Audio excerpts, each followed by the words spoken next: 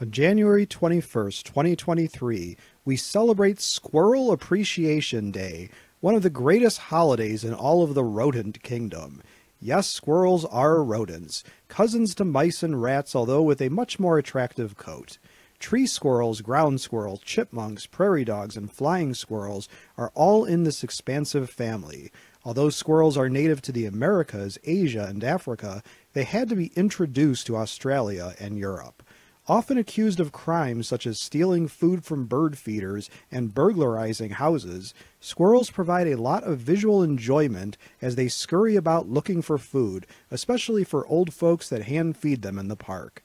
Ground squirrels include the weather forecasting groundhogs, but the main type we think of in the U.S. are fox squirrels, red squirrels, and gray squirrels. How do you plan to celebrate Squirrel Appreciation Day?